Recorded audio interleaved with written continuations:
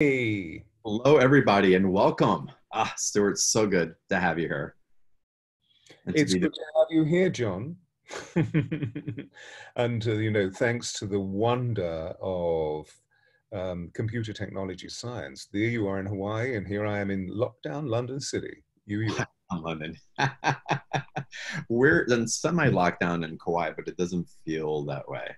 Um, and it's funny because I talk to a lot of people and they talk about again we're in this lockdown type of period but a lot of people are really feeling a sense of freedom and of liberty happening during this time of integration. It's so fascinating to me. There's a vibrational shift isn't there? It's really really big. And i i don't know what your sense is but i really could feel it deep within my body after the the new moon sorry after the full moon um well it's now five days ago six days ago something huge took place.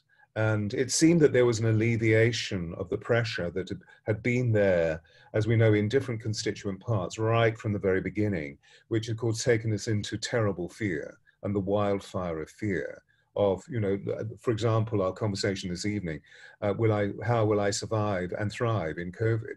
Were we going to survive? Well, look what's happened. We're still here. I imagine that. It's like how many times do we have to fear not survival to realize that we keep surviving over and over again? And that's a whole different conversation. But I think it's key and it's part of what's at the root of these instinctual, primal aspects of ourselves that we're learning to have a different relationship and really formatting to live in this new age because we're no longer the creatures from you know 15,000 years ago yes yes so, I hear you. But I, if I may, I also feel that it's very much part of our conversation, and we've sort of touched on it a bit. I mean, I feel that actually what we've been through is the great death. Mm and that the death is actually, the dying rather, is a transition and a resurrection into a new way of being or a new level of being. But the death is actually to do with the fact that we are no longer going back. We are no longer going to allow the, the compromise, the efficiency or lack of efficiency, certainly the coercion of what the old system was all about, which we mm. mindlessly gave ourselves to through doing, doing, doing, doing, doing, doing, doing. And of course, most of the time, if we're really honest, we're not doing what we could be doing because we're just trying to live the system rather than how does this inform me? You know, it's what we were saying just now about am I really living or am I just existing?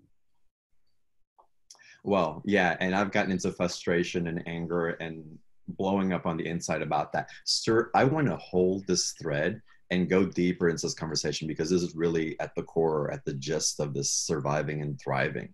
Um, and what's coming up for me personally also that I've witnessed. Um, and you speak about it so eloquently. So to share those perspectives and to go deeper into it is wonderful. So y'all, we're going to talk about that and go so much deeper. And again, this is a three-part series that Stewart actually invited me to to co-create with them. So when Stewart reached out to me and suggested that we do something together for our communities, it was an immediate yes without having to know the why, just the impetus of the yes and the collaboration. And then the whys came afterwards. So Stewart, I'm going to be very transparent about my why right now. And then I want to take us into an energy that Stewart led me into a couple days ago as we were reorg as we were organizing what was going to be shared here and again, this gets to my essence of the why also, Stewart. So indulge me for just a second.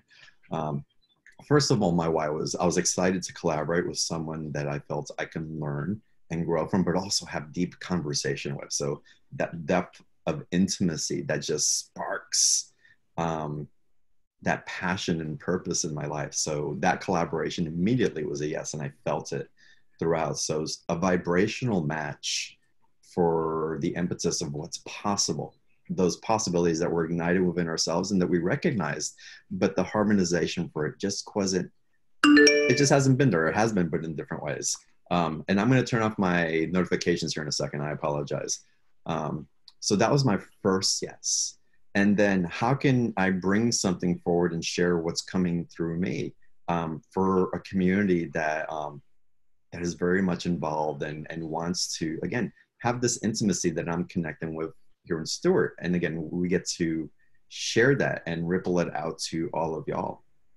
And the other transparency is that I want to engage you guys more. I want you all to be more part of my community, Stewart and I are both going to ask you to go deeper if it resonates for you into different type of offerings. I have a membership that I'd love for y'all to join. Some of y'all already there. We'll get more into that afterwards. Stewart has his readings, other courses coming up, his book that's amazing. And we'll talk about that very lightly.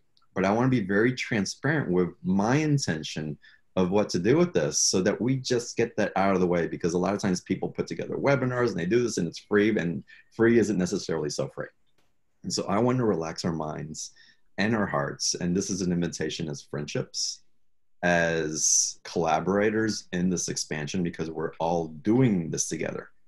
And notice I said doing this, not going through this together. We're all doing this together.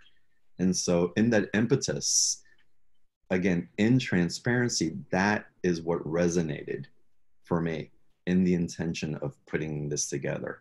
And there's some core intentions that you have, I, and I want to get into, again, what you asked me last week that ignited like this. I welled up in tears. Um, so, what was your intention behind this? What is it that's propelling you um, to bring this forward with me in this community? I yearn for two things mm. in life. I yearn for the search of kindness in people's eyes. And I've spent a number of years wandering around this planet, and I often don't find that. So I yearn for it. And therefore, my life, I speak openly, is dedicated to the arousal of kindness and therefore the arousal of love, compassion, and empathy in whatever the interaction is. Number one, I see kindness in your eyes.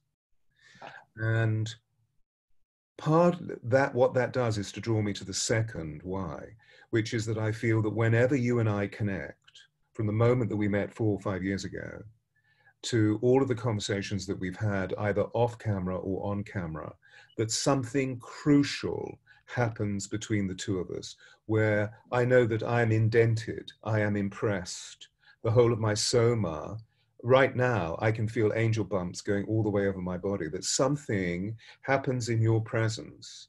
So I feel, therefore, you know, not wishing to sound grandiose, but I feel that that cruciality leads us to a combustible energy between us. And as a result of who we are as men, the choices that we've made about our own innate integrity and how we wish to communicate this in the world. So we're very transparent with our shadow. We're very transparent with our fearlessness. Mm. That meeting you allows me to share that level of combustibility, which creates an amazing piece of copper wire between heaven and earth where the angels move through us.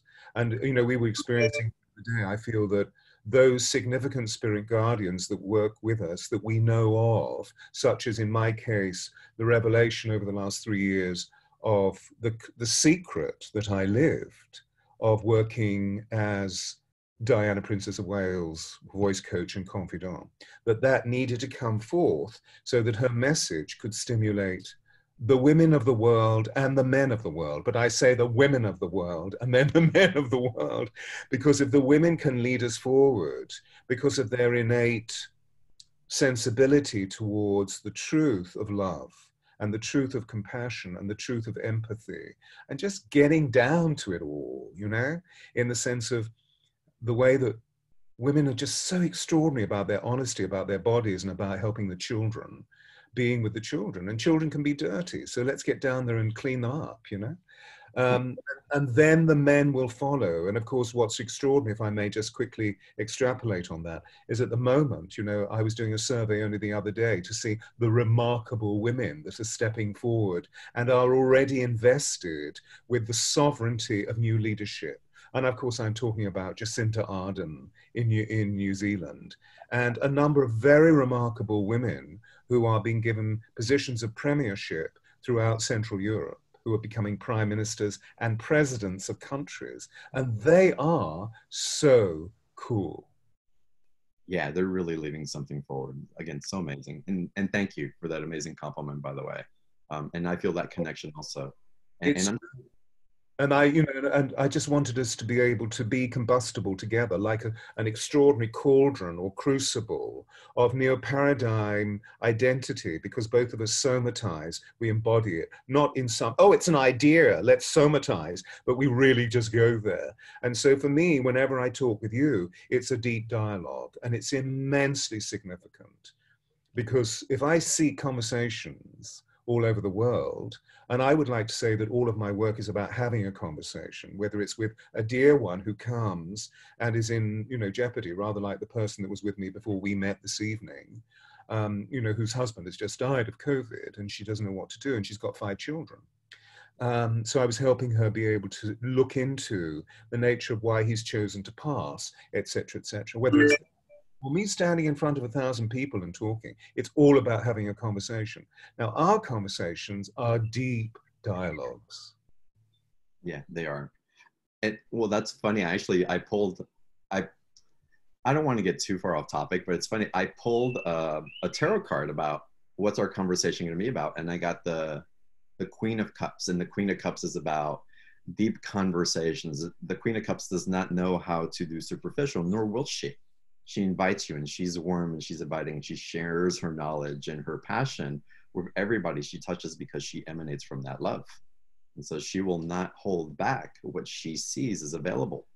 And and i truly think that i want to carry this forward in the intention of this three part webinar. Stewart and i are not holding back our love and we're going to invite you into, into the profundity of it so that you can feel it so that you can see that reflection in yourself as well so that it ignites a spark of remembrance in you, whether it's a little one or a big one, and that you get to carry that forward for the benefit of others who you get to love with your grace, with your wisdom, with your presence of being. So it's wonderful. Stewart, I would love it if you take us in. So Stewart the other day asked me this very poignant question. Um, do you remember the question? Yes, I remember the I remember the essence of the question. I will probably paraphrase it, but we we were exchanging. So what what is does this really mean? Why is this necessary to have this conversation? Why do we wish to invest in a deep dialogue or the curing conversation that we were talking about? And I, I remember there was a moment of silence between us, and I said, John, what is at your heart? What do you see at the very core of what your heart is about and what your soul is all about in relation to this conversation? And this is what Stewart does so beautifully. It's so graceful. But immediately he he asked me to drop in into that intimacy, to take a pause and to reflect. And you know, isn't this what this time is about? To take a pause and to reflect. And what's truly in authenticity emanating from this, what is it that we're carrying now, presently? Not what we're going to carry tomorrow or after this webinar is over or a year from now, but what's true right now and being in that state of presence, I just took a deep breath and closed my eyes barely for a second. Immediately, this golden light was streaming through me. Um, it was for me, it was like a Christed consciousness type of light that was ignited, and it wasn't just a vision, but what it evoked in me from a sensory. I, I welled up in tears. I was at one with that energy, with that eminence of love. And it was so beautiful to just be called forward in it and to, by pausing, to recognize it and be in relationship with it. And again, it's, it happened in a relational aspect. So I want to thank you for that. And I want to invite that in for all of y'all, for all of us, Stewart. And if you would, perhaps lead us into today's call, or if you can provide a, a spark for everybody that's with us today to drop into that with us as well. Sure. And maybe, you know, this this aspect of our exchange is the impetus that can lead everybody who is with us now and those who listen to the recording of what is at the very core of your heart in relation to this deep dive, this deep dialogue of will we survive and thence will we thrive.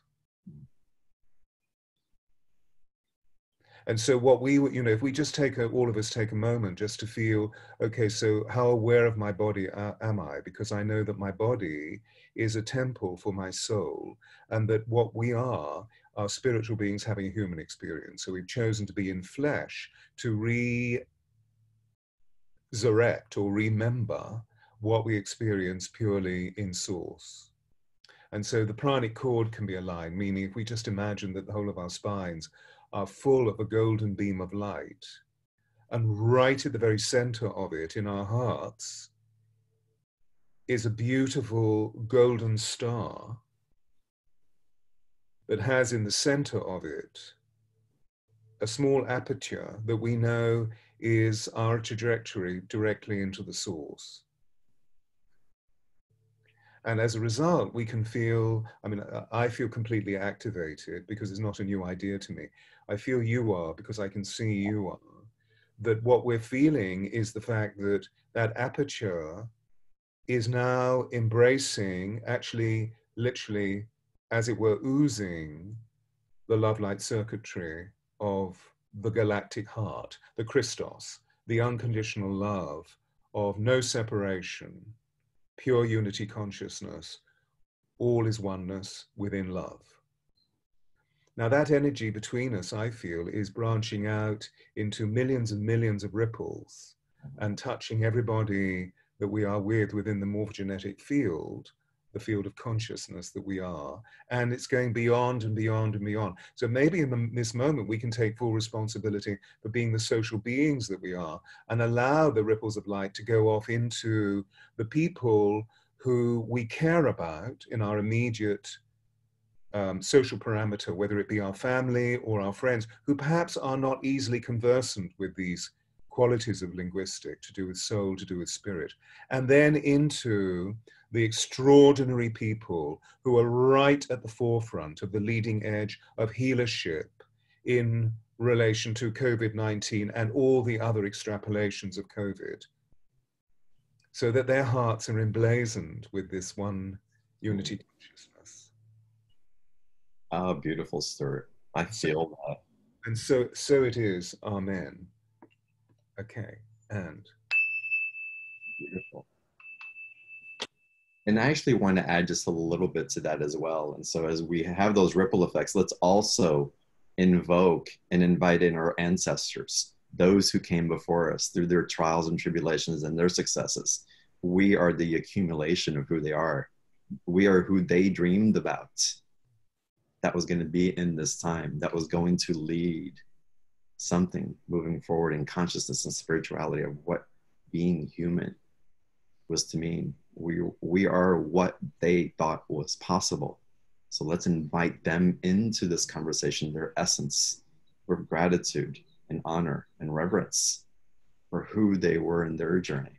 And let's invite in the angelics and the cosmic beings that are with us as well. Let's open our hearts to all those who want to be in this energy in this intimacy with us. Let us not close the door to the truth to be received and opened in everybody's heart. And it's the truth that lies underneath the subconscious that would want to try to control because it doesn't know. But it lies at the essence of the soul, which cannot be fragmented, which cannot be diluted. It is the light, that sacred flame within us, that we are calling all those close to us and that we are connecting with through that their divine flame and igniting something that this world has never seen before. So, sir, thank you. That's amazing. Oh my goodness me. Thank you, John. Mm-hmm. It's, a, it's a discipline that I always use when I go into something that's very demanding, such as talking to a very large group of people. And that it's certainly an, an element within my um, training as a presentations coach, you know, that people always feel so alone. And of course, the public speaking phenomenon, as we know, is the number one fear. I mean, more people are more terrified of public speaking than they are of dying.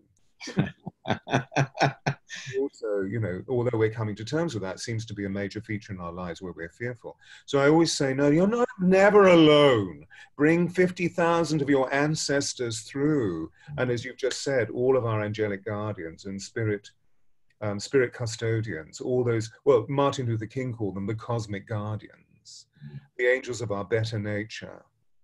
Um, beautiful, beautiful. So this is great. And, you know, maybe in this moment I can say through you, because you've helped me evoke this, um, thank you for all the people that are listening in, because they're now also part of this communion. We're redefining the nature of our social gatherings, aren't we? That we've lived too long in separation.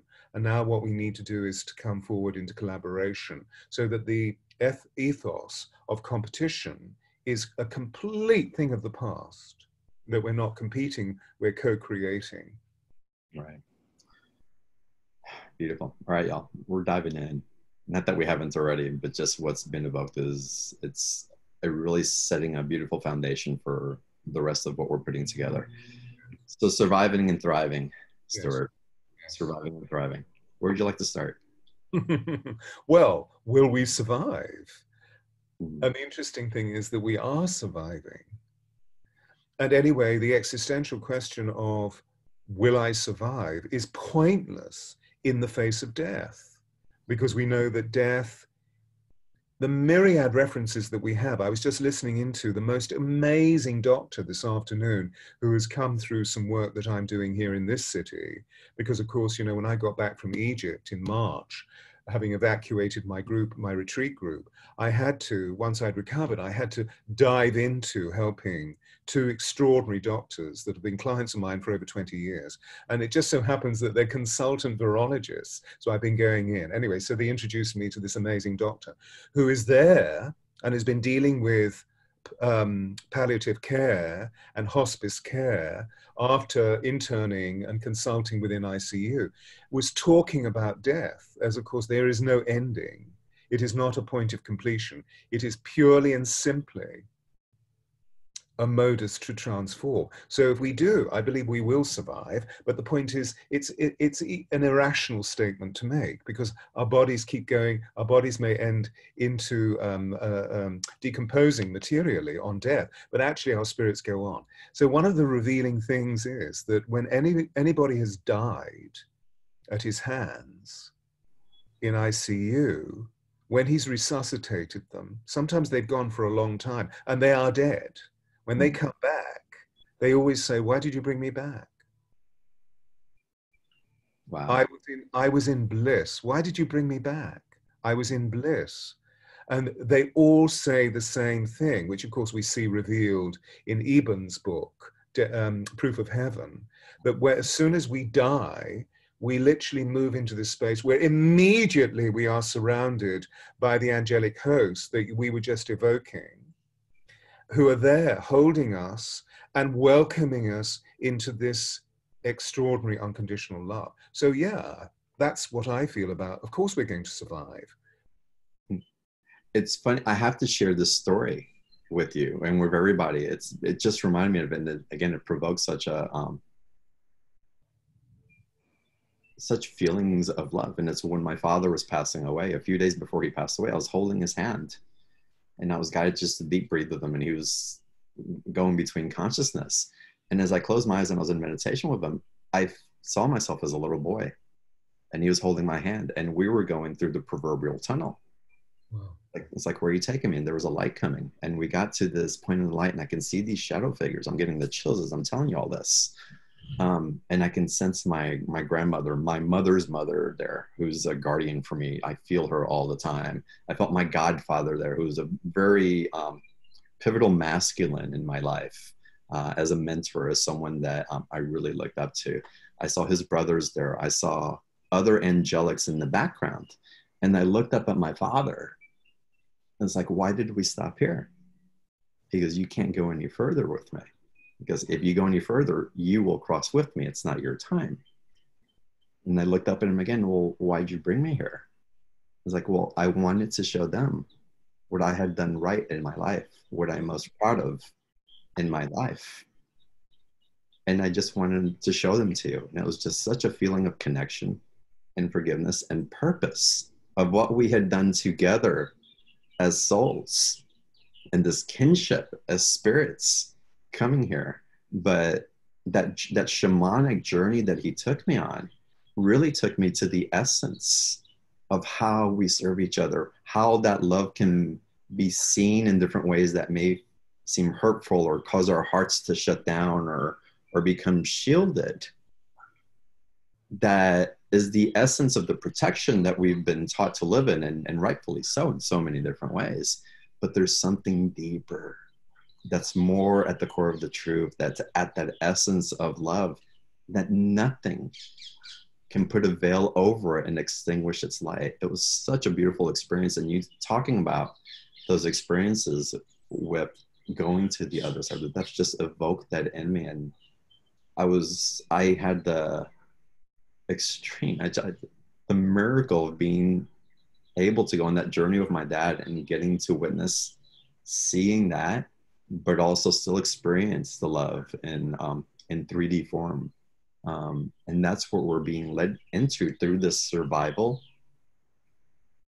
and really thriving into the new realm and i and i truly think that we're at a point as a collective that we can all not just glimpse that light that my father so beautifully sh- showed me in that journey, but we get to actually carry it as a way of being. And that's exciting. I, I, am very moved by this story um, mm because I didn't have that level of relationship with my own father, which was a karmic privilege in many ways.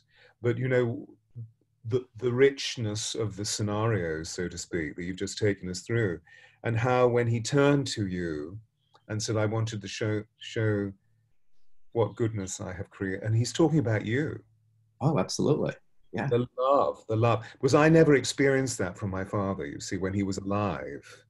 Mm. Uh, and, I, I, and he died 45 years ago. So he died a long time ago. And he died a young man who was immensely successful materially in society, but actually was fed by huge neuroses. And he realized that my sentience because I was completely non-academic, couldn't read, couldn't you know, couldn't do math, um, until quite late in you know in my teens. I couldn't read, um, so I didn't fit into the materia. But he knew that every time he looked at me, that I saw him, mm-hmm. and I challenged his energy in a completely passive, completely feminine, completely childlike, pure, innocent way. And so when he eventually passed, very suddenly through a huge coronary, um, my first response was, oh, thank heavens for that. He was so boring. That was my response. Wow. In completely organically. And then it took 20 years, 20 years revving forward, 20 years, when I was going through a huge crisis a long dark night of the soul. And so, what I do, apropos moving into the notion of thrive, what I do when I'm in crisis is I really go to my practice. I mean, I, I have a daily practice. I'm through COVID, I've been meditating three times, sometimes four times a day. And that's passive and active meditation. And I go straight into my process. So there I was one morning chanting sacred prayers to um, one of the extraordinary influences in my life, whom I met about 50 years ago. No, actually, it was just after dad died. So it was about 40 odd, 40 years ago. Um, and that was Sai Baba. And so I was chanting to Sai Baba, and instantaneous, complete spontaneous interaction. A, a, column opened above my head, and there was my father, and there was my mother, my mother who died 40 years ago as well. And he was saying to me, My son, my son, I am so proud of you. And of course, I burst into floods of tears because there was the healing. So it's an interesting instrument in terms of the way that we're learning our spirit technology, because all that we're exchanging, as I reflect, is to do with the fact that we believe in transcendence. We believe that there is something remarkable about us, which is no space, no time, no weight. It is the non material side of us, which is our spirit. So, of course, we're going to survive because that is eternal and continue go- continuously going on. But the thrive principle is to do with the fact that within transcendentalism, that we know that if we actually bring ourselves into the honesty of the stillness of the moment. We really detach, feel stillness, and observe. So we're completely aware of the mindfulness of just being present in that moment. That automatically we feel ourselves in connection with an energy that is endless thrive, that is endless abundance. Mm. And then, of course, our job as humans, it feels, is to download what that energy is all about. And we certainly can't do it if we're um, if we're depressed, if we're, you know, if we're deep, deep, depressed, if we're angry, if we're disconnected, if we're disassociated, if we're disenfranchised, and therefore we just simply feel deeply, deeply anxious. All of those, of course, all of those states I mention not through any criticism or, or judgment, but they are of a very low vibration. And whenever we go there in the reality of what it is to be human, I feel we're being given an opportunity, crisis equals opportunity, to transform into the higher vibrational force of, wait a minute, this is just so delightful. This is joyous. This is loving. This is expansive. This is compassion. Number one, this is pure empathy. And as a result of that, we automatically transcend. And then, whatever our predicament is, it can be really severe with the end of a relationship, whether this is a divorce or death, whatever, it's, it's a dying, or it's to do with the fact that, oh, I've lost my way, I don't know what I'm supposed to be doing, what am I supposed to be doing? You know, the number one question that most people ask you and ask me, what's my purpose? Mm. Oh, that's simple. People always rail whenever I, I say, that's simple. We're here to optimize our creativity full of love and joy. How are you doing? And they say, how, how do I do that? And that's where the crux is, isn't it? But if we, you know, wherever we go with the development of what those the, that technology is, if we can just see that the universe is a personal love letter written to us by God, personal love letter. So all we have to do is address it, and then there it is. Oh my God, I love that. Can I give everybody an exercise to do at home real quick? Yeah. You speak of the love letter, and then I, and then I want to talk about my experience of this of this thing called death, um, because I want you to elaborate on it. Because you, oh, I love it when you speak this way. Um, you just evoke so many different things. So a love letter, y'all. Um, so we're speaking this love letter from God. I want you to, and I'm going to give you the end result of it because I have to for today. No, I'm going to give you one part of it during each webinar, even better. So you, so show up for each one, and you'll get each phase. So one homework assignment that I'm going to leave you with, and I share this in my private groups and living in extraordinary or private clients, and it's such it's such a heart opening experience, and you will not be the same after you go through this full um, exercise. Um, but between now and the time we meet next Monday, and I hope you join us next Monday or at least watch the replay, write a love letter to your beloved. Whether you have one in your life right now, but the S like this person that you are just completely in devotion to, in love with. And don't make it about what they do for you. Really write about them, your love for them. Express it in a way that's an outpouring of your generosity and your acknowledgments as what's being gifted to you um, write that and then next week i'll give you the second part of it. Don't cliffhanger. Or it's cliffhanger. Oh this is and it's a three-step process so it's perfect. I love that this is coming out but no you're writing it. That's like to evoke that love and the the energy of creation the toric energy that that creates by even beginning to emanate that from such a pure gifting space whenever we do that, we're gifting to others truly. Um, and to be received that way is a gift to us. So you're giving yourself both in this very personal and authentic and deep letter. So it's do that, and I'll reveal the second part of it. Dying, Stewart. I'm finding that the hardest, that one, uh, not the hardest, that one of the deep rooted challenges for me right now is that aspects are of me. Hmm I am being asked to allow certain parts of me to die and to be resurrected. And there's an anger and a fear that I don't want to die. I don't want to let go of the old. And there's also an anger and the fear of I don't know how to let go. I don't know how to allow this to come up with me, to set myself free in a new way. So it's both happening for me simultaneously and there's a part of me that knows there's an aspect of my consciousness that's aware that's going to be a natural organic progression i don't have to force it all at the same time but these first two that i mentioned the anger of it the not wanting to die and the not knowing how to do it um, are provoking different emotional responses of how I interact with in my own psyche on a daily basis. They're creating, you know, periods where I'm lethargic, other periods where I get excited about something, but I can't completely create it. Periods where I'm scared to move forward and create something new because I know part of me is dying off and I can't create it in the same way that I used to.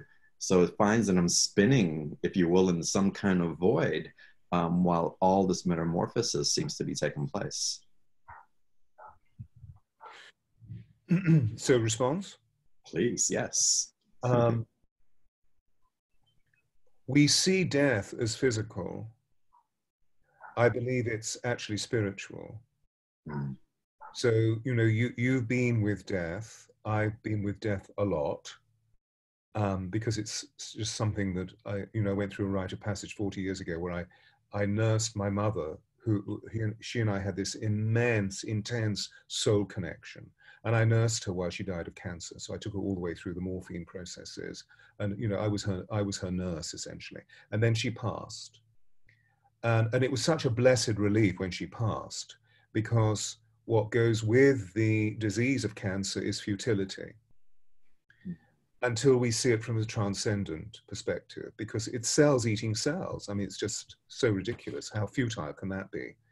Because the whole of my energy is creatively combustible rather than leading towards destruction. I'm not interested in destruction. I never have been. When my brother broke his toys as a child, I was always, why are you doing that? Because it, for me, they were always highly creative vessels. So maybe it's a question of looking into, well, the reason why there are those issues there around the dying parts is to do with the fact that somehow they're caught in time. And they're caught in time because there is still something to burrow into. There is still something to, it's quite an aggressive word, but to interrogate about what is it that I'm letting go and why am I letting it go? Because there's, there's other, there's some sort of jewel there hidden in the dust that needs to come forth. So that's my first response. The second response is, well, in order to achieve the death, maybe you don't need to do it. Maybe you need to just ask spirit guardians to help you. Beautiful, beautiful. And I share this because I, I can imagine a, some of y'all, if not all of y'all, are going through a version of this experience. Because again i think a lot of emotions are coming up. I don't think i know. I see it in social media. I see it in the news. I see the different responses of where others are going through their unique individual experience. And i have to say here now for the platform that every one of those experiences is true and right. That we're not it's judgment creates separation and to think that one is over the other we are not aware of somebody else's experience unless we are living in their skin. So understand that there's grace that is facilitating their emotions as grace is facilitating yours as well. Now what we do with that and how we bring compassion in as the great transmuter of these energies to bring forward the light is our part of the journey. So, any of y'all who, are, again, if you're experiencing loneliness, anger, apathy, fear, um, around all of these different issues that this um, pandemic is creating for all of us, whether they're financial, relational, health issues, spiritual, transcendental issues, it's all coming up um, in a way that, again, Stewart, you and I talked about that even the temples the great temples of the gods need to be swept out from time to time and we're in a great sweeping right now. Yeah. Yes this is a this is a we're responding to cosmic cycles. It's not just that covid has been created in a laboratory and now it's reaching through this ravaging pandemic it's it's actually to do with the fact that we're living a cosmic cycle where again a civilization that really has been lived for two and a half thousand years is dying. Patriarchalism is dying. So the question is we know it doesn't want to die. We know it's very angry and fearful about its potential collapse.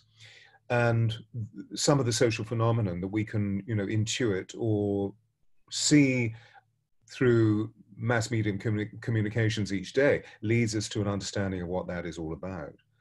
Um, it's you know so we're talking about so many wonderful subtleties and of course spiritual technology is not is not ipso facto is it? It's actually nuancial. It's all about the experience of what it is to be alive. But if we as you were just saying and if we align ourselves with the purest energy that we have it is love and the extrapolations thereof of compassion, kindness, empathy. But we also know that being thus, if someone is in, a, is an altered position of that, it's not a question of the fact that we're judging it. We're just simply saying, what is accurate? What is accurate energy as a potential witness of the rare humanness that we're living on this extraordinary planet, knowing that we're spiritual beings having a human journey, there is accurate and inaccurate or appropriate and inappropriate. So, for example, you know, apropos that wonderful quest that you gave us about writing a love letter to our beloved, uh, I'm meeting at the moment a lot of conspiracy theorists, uh, as I'm sure you are, and I'm meeting them either literally because a number are coming to me um, for for readings or for counsel, and um, or I'm you know meeting them online because I'm fascinated by what's the conversation that's going on at the moment, um, and generally that's part of my sort of daily my daily preparation before I go into switching off and going into a very personal meditation. And it seems to me that this is a commentary on the waves of energy that are part of this cosmic cycle of death and rebirth, death and resurrection. Um, and it seems that the waves, may, maybe you have more of an identification with other waves, but the wave initially was terrible fear. Mm. To a point, the fact that we were terrorized by that fear. And then time passed, and people were thinking, oh, actually, this isn't too bad because literally I'm no longer running around like a headless chicken. And actually, I feel really relaxed because I'm eating well, I'm drinking well. If I can get to the, you know, to the supermarket and the, the shelves are not empty, well, I'm very fortunate, I guess. I go to a supermarket where the shelves are even more full now than they were before this pandemic. It's hysterical. And what I notice also is all the shop workers are so much more friendly than they were before the pandemic. And so I'm making sure that I, I make hay while the sun shines. You know, I'm really loving them up. I'm spending a lot of time in deep conversation. However, so the fear came, which was a terror. Now that's being intellectualized. And the intellectualization is moving into conspiracy theory. So one of the things that I'm saying to conspiracy theories, can you just, theorists rather, can you cease that just for a day? And spend a whole day doing 12 compassionate acts. And one of them is that I want you to write love letters to a friend. And I want you to write at least 25 love letters. Dear friend, do you realize how much you are loved? Do you realize how much you are supported? Even if these days are dark, you will, all conditions are temporary, you will move into the light etc., etc., etc., etc. Love a friend. Put it in an envelope, write on it to a friend, and stick it under a windscreen washer or wiper rather of a car, at, you know, in a car park at the supermarket while you're waiting at your two meter distance or whatever it is, or leave it on a park bench, or leave it, you know, if you're traveling by public transport. This city this morning awoke, London City awoke to thousands and thousands of people arising out of lockdown and traveling on public transport. Leave it on the public. Can you imagine if you receive one of those letters, the joy that it's going to bring? So it's going to be a quelling of the torment of trying to make sense intellectually of the rife emotionality that's taking place. It's merely spiritually bypassing. Now, there's another wave coming because, as we know, all, all things, all things that are crucial work in threes. So there's another wave coming.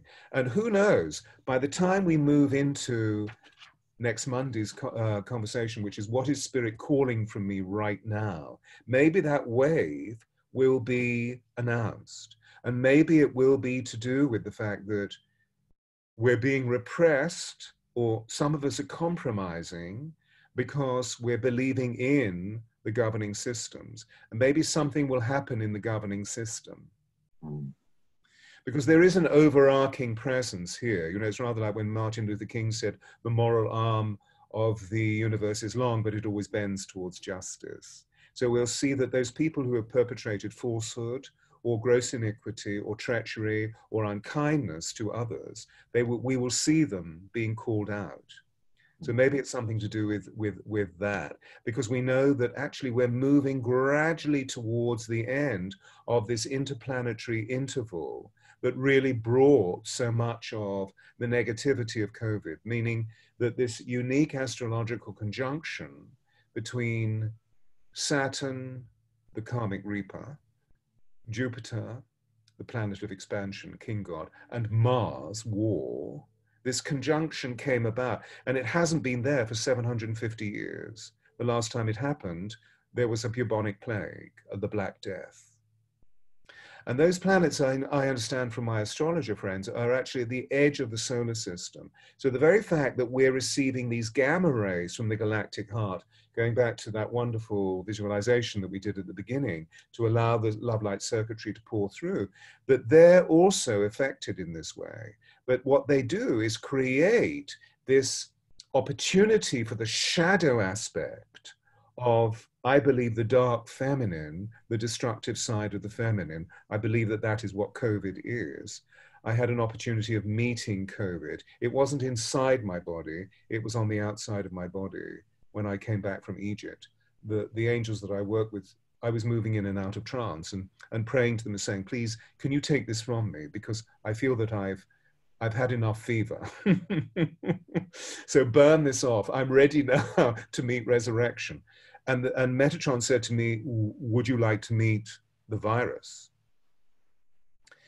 Now, I must admit that I said, um, only if you guys are in front of me. I want you, Michael, and Aradziel right here because I know if they're there, then I'm fearless and I'm invincible. But I really, I was feeling physically enfeebled, you know, with a high temperature and blah blah blah. And uh, and this thing came in, and I saw, and it was horrific. There was terror in the room, you know. I could feel this and um, and subsequently, of course, I've met it again in a watered down version when I'm working in ICU, because I go in once a week um, with two doctors into different hospitals, and so I've met it. I've been helping people die and helping people stay alive and so forth and so forth, and um, it was horrific. But I, when I said to him, "Why are you here?" And it said, "I'm here to wage war on humanity," I gathered every single ounce of bravery and said, "Is that necessary?" and it said, I will leave as quickly as I came. Now, okay. the logic, you could, yeah? Oh, yeah. The logical significance is that on May the 29th, this conjunction ceases. So it's interesting. And then obviously, if we're still in, se- in semi lockdown through June, which for we spirit teachers is just ideal because we, we're meeting so many amazing people online and hopefully we're getting as many hugs as we can from whether it's a celestial hug or an etheric hug we're getting them. Or you know and from whomever you know I, I, mean i'm i'm solitary i don't have a partner. But you know i have friends good friends that we're walking together through london parks and at a two meter distance and having very intimate conversations that i feel i feel their love hugging me. That maybe we can move through this third wave and meet that time of practical recovery where we're, we're getting back to work and there is no new normalcy. We're just establishing a new neo paradigm, which means that we each have space, but we don't feel separate. Well, that's beautiful, sir, because that's really creating a space in how to live like with this integrity we're not pushing or pulling with one another trying to get something energetically emotionally um, from a way of scarcity. So where we're really interacting it's like you're holding your space and your integrity and i'm not pulling from you trying to get something from you. And i'm holding my space where i'm not pushing or holding something back in the fence. And really when we can meet each other with that integrity the creativity that expands because the shields of the fence fall away and we are in our exalted empowerment that it's not about warring or competition it's about the force field that that creates and the pillar of light that amplifies potentiality and then we get to choose where to step in from there it's powerful and so even the distancing and meeting in the middle in that hug yes, it speaks beautifully yes. to what we are calibrating towards our, our typical way of being into seeing that eminence and that um, reverence for that divine light that sparks from everybody. And you know, it was always a social custom 400 years ago in medieval, post medieval Europe, that whenever you met somebody, you, you always conducted a two meter distance mm. so that you could engage in a reverence. Mm. Wow. Which was that the men bowed and the women curtsied but it was nothing was said until that was done and then you would look into one another's eyes and then conduct whatever was necessary whether it was actually intimate or to do with commerciality. It's extraordinary. So actually we've got a key haven't we as we build our keys which is that the old paradigm was about striving yes. but this new paradigm is about thriving. Mm and that we never need to go back. Yes, we need to do, be due diligent. We need to do our work repetition is the mother of skill. If we fail to prepare, we prepare to fail. So we need to do our work. We need to do our practice. But there's one thing in doing it through flow and ease and reverence with the mindfulness of being absolutely present. And the other is the old modus, which is that we weren't really doing it for ourselves. We were trying to honor the, the traumatic echoes of all of those people in our past who were stern, care givers or takers. And if and I'm just reflecting on my own education because I couldn't do what they wanted me to do. So I was always a constant frustration. It created, you know, for them, it created a war. Oh, so, you, you were frustration and I was a hope of what they couldn't achieve. And so I was looked at the other way. It's like, oh, you did this that we weren't capable of. And so a lot of pressure to be something in the hopes of fulfilling somebody else's desire to see again that divinity within themselves. It's like they pass it along. It's like, I'm not going to do the work. You do it for us. And how many of y'all have felt the weight or the pressure of either one of these juxtapositions that Stewart and I are talking about right now, and how it's time for us to release that burden for ourselves. But in doing so, it ripples out to the previous generations as that part fulfilled, not out of expectation, but out of releasing the illusion. Yes, yes, yes, yes. Right will really help our millennials with their sense of entitlement, which is only a bewilderment about the fact that they're not receiving what they feel they need to be receiving. But because they're normally quite held in intellect, they can't feel what it is because they know actually it's just they want love. Yeah. Um, which sort of it brings us, it feels right in a very immaculate way to one of the key principles that I know that you and I have discussed, is that when we begin to experience all of these extraordinary tendencies and we choose new trajectories, we therefore can't compromise ourselves any longer. So there is dying because we have to move out of that relationship. I mean, I can remember when I was when I met the angels in '87, I was living in a long-term relationship, which um, was 12 years in all, um, and it wasn't 25 years, but it was, you know, it was of, of a considerable amount of there was a lot of water under the bridge, we say, that I was told that I was mad. So I realized that, ah, so we've reached a lack of vibrational match. So I need to find a way of renegotiating this. And I tried and I tried and I tried, but my partner wasn't willing to go there. So divorce was imminent. Um, and you know, uh, uh I'm a Taurian, so I love and I love and I love.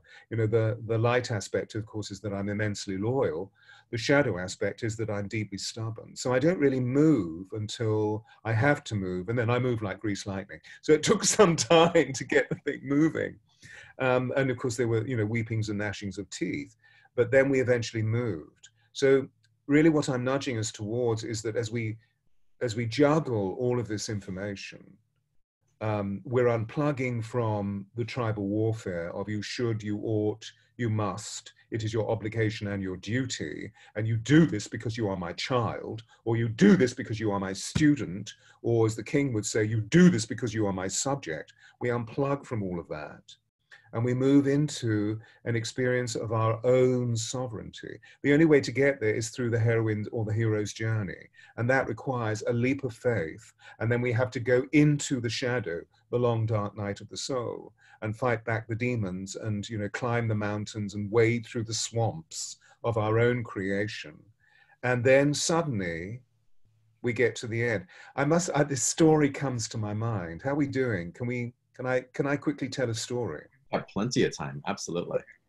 Because I love this story and I love telling it, but I also feel that it's so cool because it really examines one of the core elements of what we're talking about. There is this noble samurai who is revered by all of his brothers. He is a high-ranking samurai, samurai, and is awarded. You know, he's decorated with victories because of the way that he's led fearless men or fearful men, he has not been fearless into battle, and they have succeeded. I mean, this is many, many, many hundreds of years ago. But he is immensely depressed, lost his way completely. So there are all the material trophies, but inside his immaterial self is literally in blitz. So he approaches his commanding officer and says, um, I need help, I need help and the commanding officer says, "Well, you know, I mean, you're you're you, you know you're you're extraordinary. What do you need help about?" And he said, "I I do no no longer know the definition of heaven and hell. He'd seen so much horror in worship.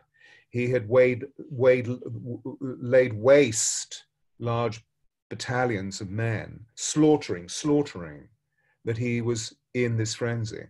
And so the commanding officer said, Ah, there is a wise man that you need to go to. It's a long journey, but if you go and, and gave him basic directions.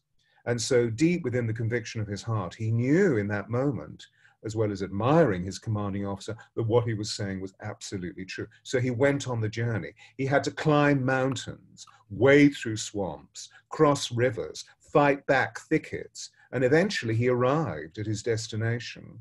And what he found was the most extraordinary garden. So he wandered through this garden, and after the wastelands that he'd been through, this garden was, as we all know, it was just so refreshing. It's like when you drive for hours through the desert, you can't wait for your eyes to meet oasis, and then suddenly there is green and one feels nourished. So he walks through the garden looking for the wise man and can't find the wise man anywhere but notices that there's an extraordinary energy in this garden. And as he wanders through, feeling this energy, he notice, notices a shining dome like architectural thing in the distance, walks towards it, and it's a temple. So he's sitting in the temple waiting for this wise man. And suddenly he hears a humming in the distance and thinks, oh, this must be the wise man. So he walks towards the humming, and there is this little man on his hands, on, on his knees rather, with his hands in the earth. His hands are filthy, and he's the gardener. So, of course, the samurai summons all of his might and says, You tell me, where is the wise man of this garden? And the, guard, the gardener looked up at him and said, Who's asking? How dare you ask me? Except he didn't smile. and the samurai said, How dare you speak to me in this way? Tell me where is. And automatically the gardener retorted, How dare you speak to me in this way? Look at you. You're filthy. How dare you come into this garden? And the samurai lifted his sword, and the little man said, That is hell. And he dropped his sword aghast. And the little man said, And that is heaven, my son. And in that moment, of course, all of his cells were blown up, the samurai's cells were blown apart, so that he was actually able to move into the remorse that he needed to feel, which he hadn't been able to feel in killing all of those people, and thence move into experiencing grace moving through him so that God was merciful with him. And of course, immediately he left the samurai, uh, the samurai brigades. So I feel that this, you know that this is this time, do you see, that the the hell that we're experiencing is the horror of COVID and the terrible stories that we're hearing about the fact that the, the, the disease, the virus, is affecting the very pneuma of our beings. It's affecting our lungs and it grips hold of the alveoli in our lungs to such an extent that literally it starves us, starves us of oxygen. So it literally is suffocating us. And I've met this with the dear ones that I've served in ICU they're normally not in their bodies, they're out of their bodies because they're in such duress. But they are being fed retroviral drugs and adrenaline to keep them alive, you know, because their, their vital signs are beginning to go. And helping doctors find, intuitively find a way of going into major veins because it's either an arm or a groin or the jugular. And the easiest thing to pump into the heart is to get closest to it through the jugular.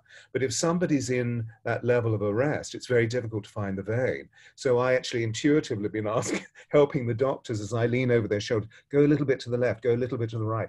And they say, how did you do that? And suddenly the catheter goes in. So the dear one is, is able to, um, to breathe once again. But isn't it interesting that it's affecting our lungs and not our bowels, the very spirit of life. Just as, what is it now, 25 years ago, just as it affected the AIDS patients. Right. The lungs. So, isn't it interesting? It's to do with our thymus gland, it's to do with the heart we know that the weakest area of our body is actually our solar plexus because it's the darkest area of our body where we hold so much shadow. But actually, what this is all about is giving us an opportunity of dying to the unlove and opening of resurrecting to the new love so that the pneuma becomes fleshed out with oxygen and our hearts open into what we're seeing is the golden ray of the new kingdom Mm-hmm.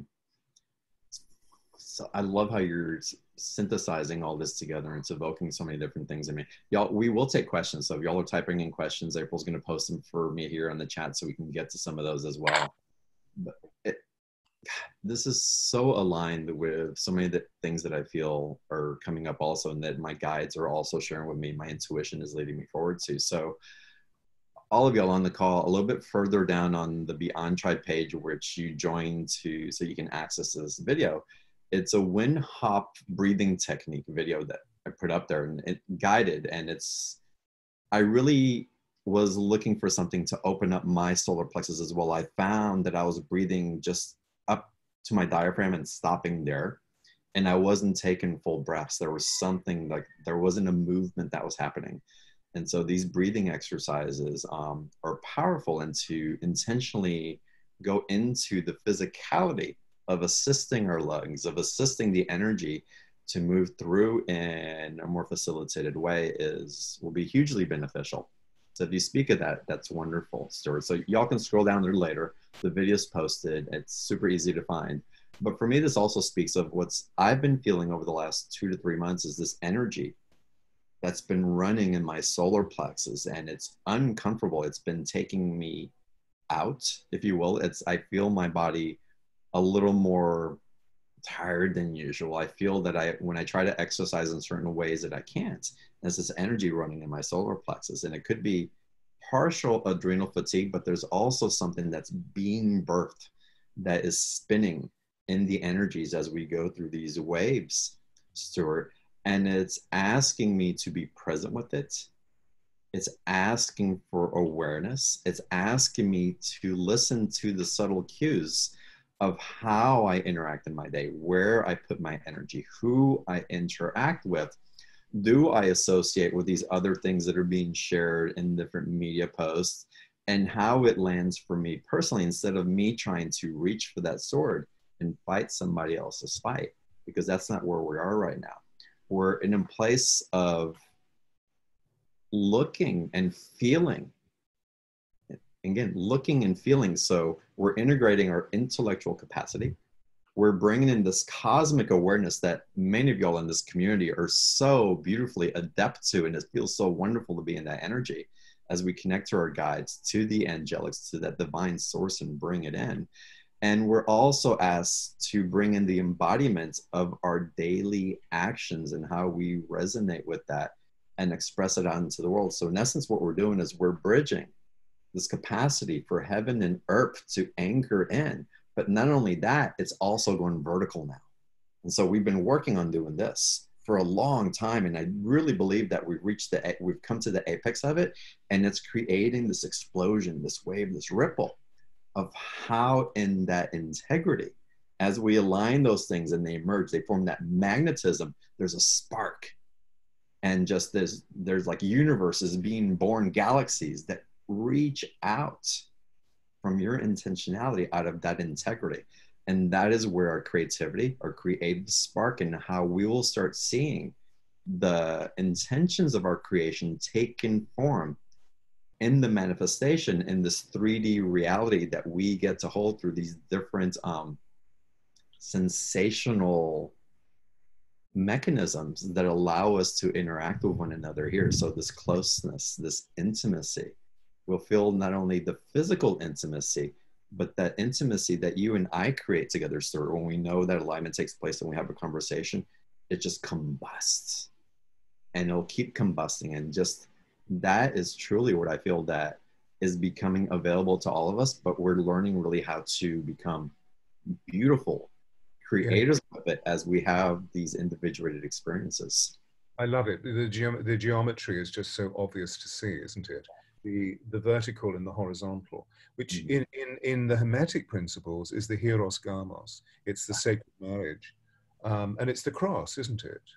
And yes. so whereas we, we've been led over the last 450 years to center everything here, um, now what we're realizing is that it's actually in the, in the uh, vortices that's created by the meeting of the horizontal and vertical of the what's known as the axis mundi and the anima mundi, that this is male and this is feminine. And the anima mundi is the animating principle of the universe, you know, that everybody believed in, which is God's breath, because the whole of nature is alive with it until Isaac Newton said, that's not true, it doesn't exist. The, the, the, earth is merely a lump of matter hurtling through space. And so literally there was a revolution in medieval universities, that that we believed in for a thousand years, that men mostly in university meditated on mm. through their alchemy and through their hermetic principles and whatever their belief systems were. The ladies did it because the ladies guided us whenever we felt weak. We go straight into nature. We go into receive from Mother Earth and we would participate, petition, and, and praise together, and we'd feel emboldened, then we'd come back. So you see, what's so beautiful about this, John, is that which is one of the reasons why I want to celebrate again the conviction of my relationship with you, is that I can do this with you because you sit in your heart. Hmm. This is an experiential that you you've acquired over the years. You're you're no longer living if you ever were. You're no longer living up here. You know what I mean? In that real cerebralization of what that is all about. That's that's to do with into. I mean, I I, I don't wish to use that parody as a, a criticism or as a um, anything that's within my spleen. It's just an illustration. I'm not projecting into it. But when we come, when we really come into here where you sit, where I would like to think I sit as well, then this is the meeting point. This is the meeting point. And what we've been talking about in terms of in true integrity, which really means integration, doesn't it? You know, when, when we get the parts of our beings, I think that's what we're addressing, the different parts of our beings. And when we bring them together into integration, the radiation of integrity is so purposeful, but we don't have to work it. We just are it. It's like learning a skill, whether it's surfing, making babies, or playing tennis, climbing a mountain. It's where is the middle point? Where is the zone? Where is the still point out of which all energies then are generated and meet flux? Hmm. Where is that? We've lost that center, and now here we are returning to it. And who would know that it's actually the hidden cache of all of our love and all of our grace and all of our compassion. It reminds me of that wonderful story about, you know, when, when God says, I had something really special for the human being, but I don't know where to put it. and all the mm. animals give different interpretations. And then I think it's is it an ant who says, I know what, put it inside them, they'll never find it. Here we are beginning to, you know, we're getting wise finally after, what is it? Um, well, I suppose if we go back into ancient civilization with Atlantis and Lemuria, we're talking about the last 450,000 years. Um, that gradually we're getting wise and, and therefore possibly remembering what the Atlanteans and Lemurians, if they were the civilizations that came before Greece and Rome, which I believe they were, um, that we're we re remembering. And as a result of that, right now, as we speak, as we embody the furnace of our own individual heart connecting with the um, the collective heart, the universal heart, into the, the, gal the galactic heart that this is coming through. And if I may say that, you know, as we speak, this is really at the core of what Diana wanted us to have. It's just that her vessel was only just beginning to mature, then she was taken from us. It's such an irony. So that she could actually be more useful on the other side than here. and now we're ready to receive the immense pulsation of what her love is all about. So, you know, if anybody doesn't know what I'm talking about, please tune into my recent book, Diana, the Voice of Change, which is in audio and selling like hotcakes, and that's wonderful. Um, to spread the word, yeah. Amazing. And we'll talk about, oh, I want to talk more about your book afterwards. Maybe in the last, we really want to highlight it a lot also because it's it's. We need to get questions, do we? We need to get questions, but we're not having any questions being typed in from April right now, so I, I think we're right there. But one thing I wanted to point out for everybody on the call again, it's again through my experiences and there's a calibration taking place. So there's not this all or nothing type of process that's happening it's as we get into that cross point again the the axis mundi meeting the what's the other mundi? Uh, the anima. The anima thank you. Yeah. so the axis is male and the anima is feminine. The anima. As we get into that it gives us this this flow of our whole, of our whole being not aspects of our being to be aware to feel and to sense and to and to intuit through our innate um oh it's not intuition whatever it's um when we just carry it within us it's instinctual. It becomes instinctual when something becomes a little bit off. So for example i woke up this morning and for some reason there was like a, a wave of heaviness and i felt like i like a grumpiness that was coming over me like and anxiousness and anger a little bit. And I didn't know where it was coming from because everything seems pretty good. Maybe my car's acting up a little bit. Maybe that was part of it. But there was something that was kind of leading me astray from my center. And I could have had that lead all day and just kind of gone about and gone into the different things that I was preparing for, including this call. But I was really called into a practice Stewart to take time to be intimate with what was coming up without having to define it, but to notice it and to go through the alchemy of what was coming up through me. And first of all, it's like, what is this? Who is this? And why am I feeling this way? So it was identifying it. Wait, I have anger, I have frustration, I have something that's making me uncomfortable in my body. It's like, hmm, okay. And what's it taking away from me right now? What makes me angry that's taken away my center. It makes me angry to take away my focus. It makes me angry that I want to be somewhere else, but it's calling me into something. I feel angry that my body's reacting in this way and I don't know what to do about it. So the chemical process of acknowledging and being with it allow it to come to the surface, which also allows our neuropathology to start creating different um, chemistry so that we can start imprinting something different. So at first acknowledging was beautiful for me. And this is a five minute process, y'all. Um, it's quick. It doesn't have to take long. And then I got to be in the sadness of it. It's like, wow, this makes me sad. If if if I'm this, I'm going to be alone, or I can't do what I want to do, or something's being taken away from me. So really getting into the depths and the authenticity and integrity of my sadness and being with it. Oh, I have to earn my love sh- by showing up a certain way. I can't be accepted for who I am. It's not okay if I'm angry. It's not okay if I'm the different things and allow yourself to go through just whatever the truth is. Speak to your five year old. Don't cognitize it. Don't intellectualize the sadness.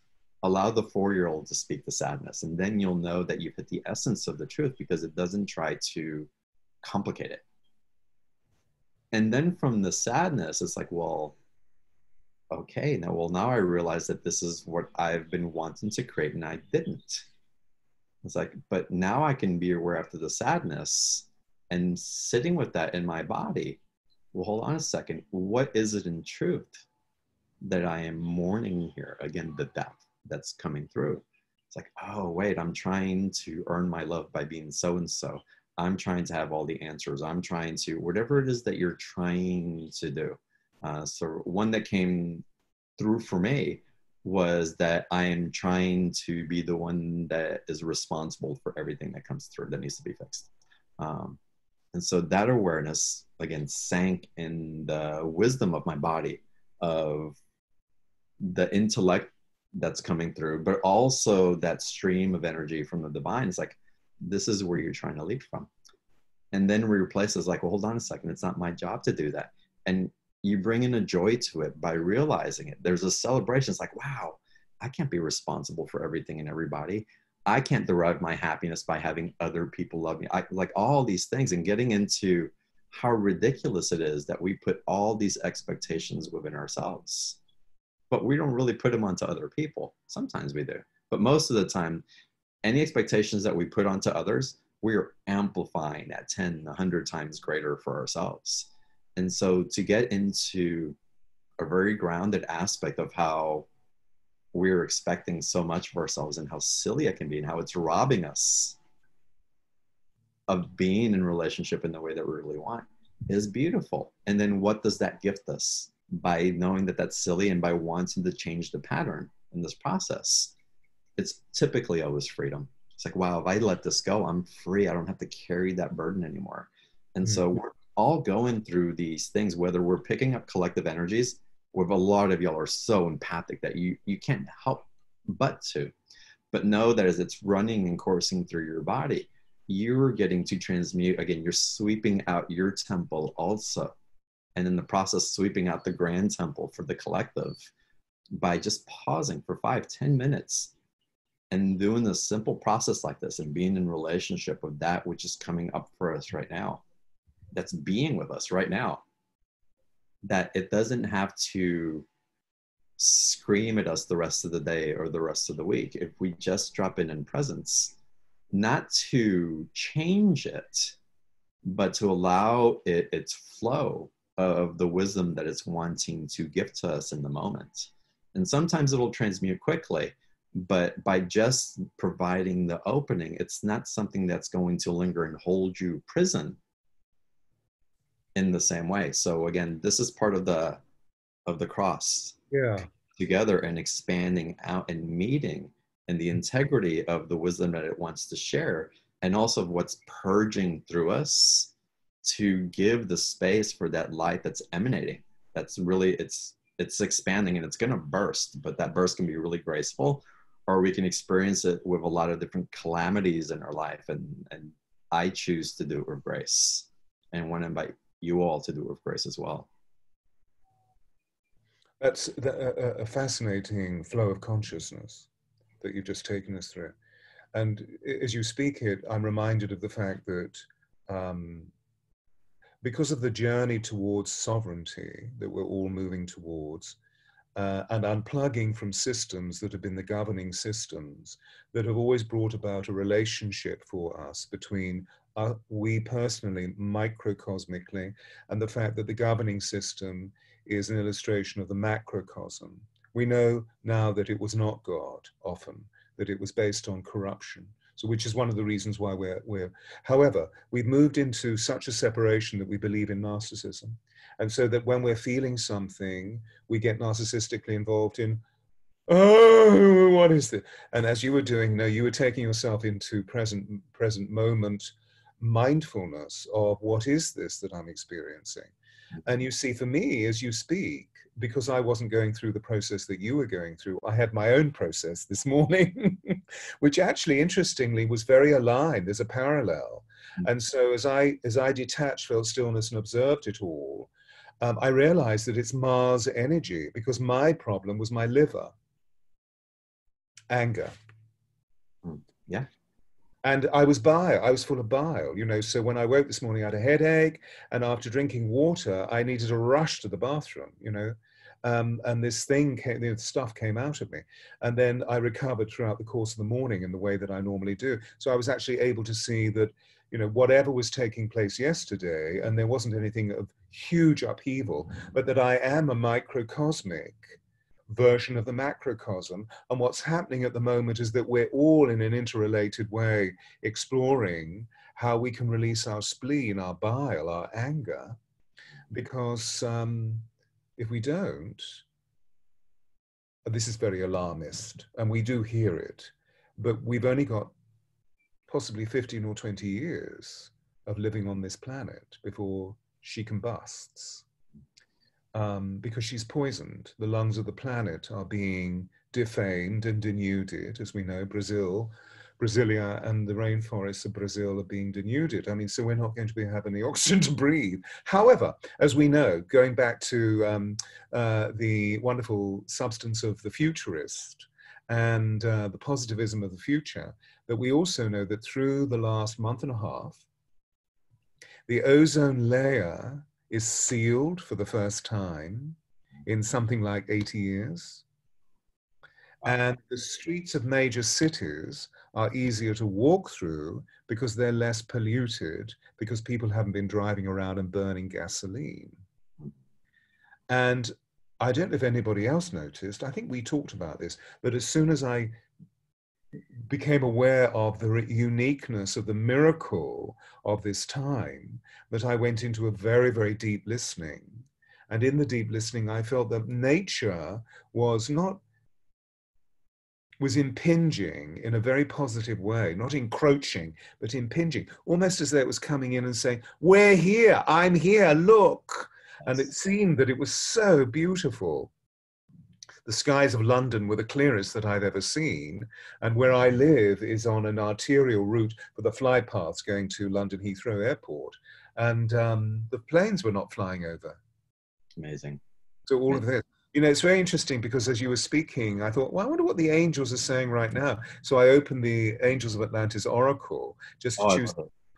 And one of them is Raphael Earth Force, which is all about healing. Raphael is the holy healer, of course, healing earth force. And that's really what we're talking about, isn't it? That we take full responsibility for our the status that we have, both internally and externally, as spiritual beings having a human journey. And as soon as we do this and we recognize that paradise can be within, that Michael comes forward with the kingdom of the enchanted. Oh, beautiful. Ah. How more happy to me a lot these days, the cosmic leader. Well, understandably, right? Because where are we going? Where are our leaders?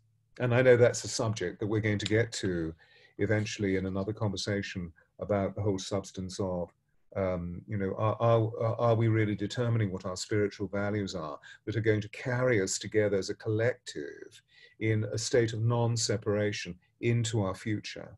Because this is the dawning of the golden age it truly is. And again, we'll get into that in the next conversations. We have another two webinars to really go deep.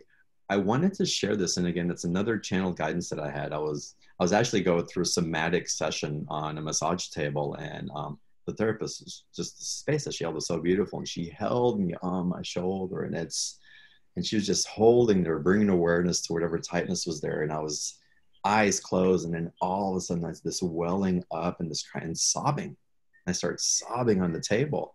And it was Gaia that was coming through. And she had this message. And it was, it's like, yes, what you see in me is a reflection of what you're doing to yourself.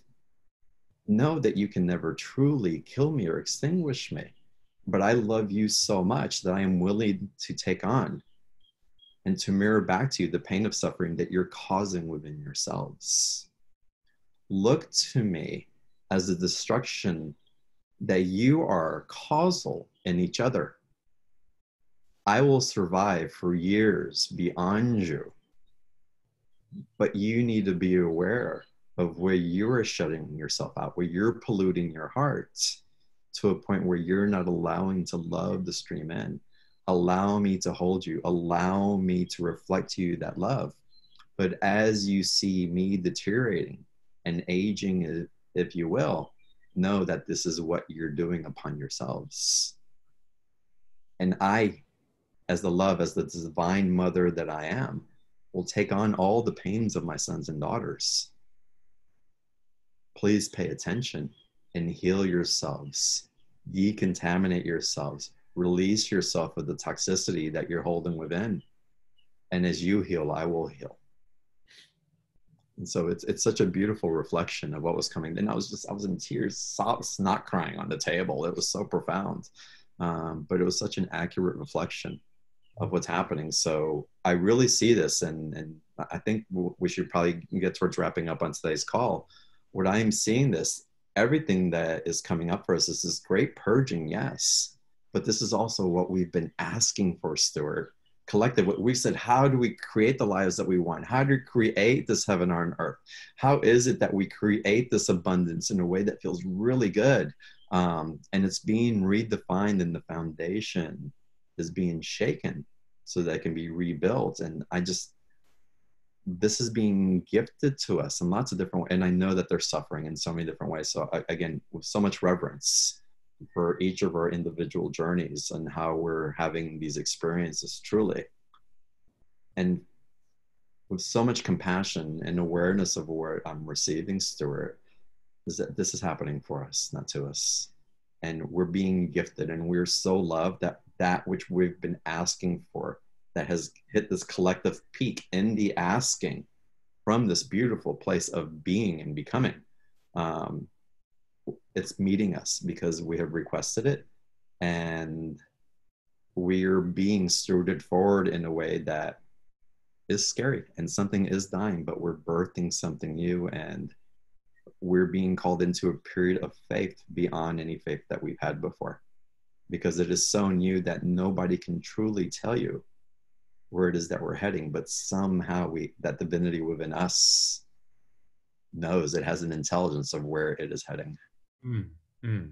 Yes, because uh, have you experienced as we go through the stillness, although I know we're both quite busy, it's a different level of busy because we're no longer surrounded by the frantic doing of our brothers and sisters, God bless them, and society has calmed down. Um, that there's a consistency. A lot of people I know are saying to me, one day just rolls into another. There's a consistency rather than the sharp edges that we normally feel. And it seems to me that this is an exposition into time, and that we know that one of the part of our ascension descension process, you know, the verticalization, the horizontalization, that we're getting deeper and deeper and deeper is the fact that the space time continuum will distort. And so it seems to me that the consistency is the energy that Mother is giving to us to be able to sustain the workings out that you've just enumerated so beautifully, to sustain them so they don't switch on and switch off. And therefore, the cerebral cortex changes because, of course, one of the things that's crucial is that we switch on, switch off, switch on, switch on, you know, blinking, blinking, blinking. And of course, the more we intellectualize, the more rapid eye movement takes place. And of course, all we're doing is switching on, switching on, switching on, switching on, switching on. And therefore, of course, we're suspended between the heightened features and the shadow like features, what Blake refers to as joy and woe. You know, when he wrote, Joy and woe are woven fine, a clothing for the soul divine. When this ye rightly know, safely through the world ye go.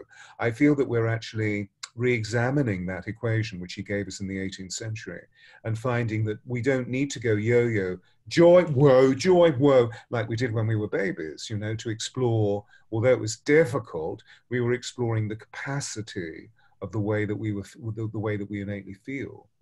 That this is all about no we will inherit the kingdom of heaven it is here. But what we need to do is just feel ourselves within peace and stillness.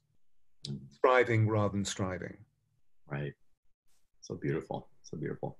right, Stewart. We're going to continue on the next call. Um, eh, Stewart, I can do it, but give everybody if you all are, do not come to the next session again. I highly recommend um, continuously working with Stewart again. This energy that emanates and this truth that evolves is it's phenomenal. So I know you're offering readings, and of course the book is wonderful.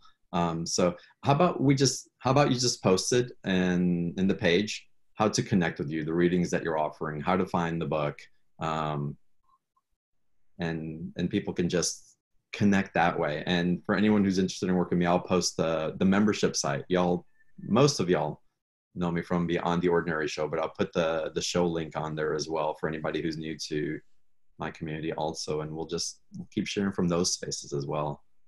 Um, so we'll have that. Any last words that you want to leave everybody with, Stewart, or it, like invoke? Maybe we can invoke this Christ of consciousness and, and just just put this beautiful layer of that of that Christos on top of today's call. Yes, we, we've talked many things, haven't we? And so it's been very exercising on yes. all levels of being. But as a result, possibly people are feeling stimulated into the greater being, the greater reality. And what we need to do is to be very simple and come back to our hearts. Yes. And realize that this is where it generates from. Mm. And so maybe we, we need to just feel a moment of stillness where we feel the pranic cord, the axis mundi going through us, and this beautiful golden heart with a golden star surrounding it. And that in the silence, if we just breathe in very deeply, so as we breathe in, we receive from Divine Mother. And when we breathe out, we breathe into her space. And of course, breathe our love out into the web that John was talking about at the beginning. And each breath allows the heart, the golden heart, the golden star, to get bigger and bigger and bigger and bigger. So it's no longer just an image in our hearts, but it actually becomes part of our etheric sheath and beyond. And then rays from the star shine out and connect with each one of us in the collective experience of this conversation and beyond into touching our brothers and sisters.